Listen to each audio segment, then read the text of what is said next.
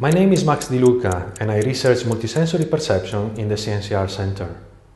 Our brain continuously receives multiple streams of sensory signals, like me speaking, the ticking sound, and this countdown clock.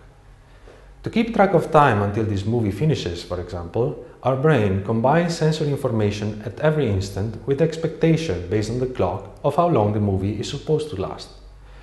I use psychophysical experiments to measure perception with the goal of creating models of how the brain processes information. Basically, I'm trying to determine the mathematical equation used by the brain to convert sensory signal into perception. In particular, I'm considering how the brain deals with multiple signals that are dynamic and that are connected to our actions.